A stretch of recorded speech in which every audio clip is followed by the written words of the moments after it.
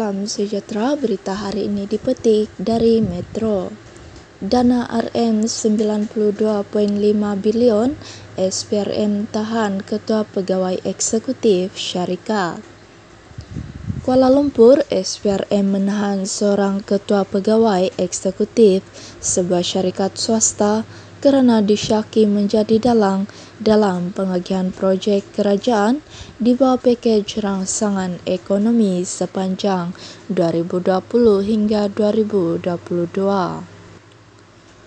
Suspek yang ditahan itu dipercayai menerima rasuah bagi menghubungkan kontraktor dengan pihak atasan.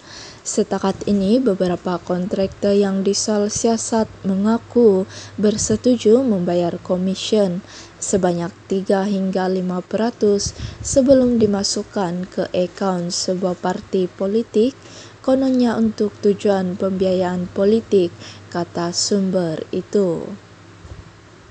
Sumber itu berkata SPRM membuka beberapa kertas siasatan terhadap sekurang-kurangnya lima individu yang dipercayai menjadi dalang atau orang tengah kepada beberapa syarikat untuk memperoleh projek bernilai antara RM50 juta hingga 500 juta.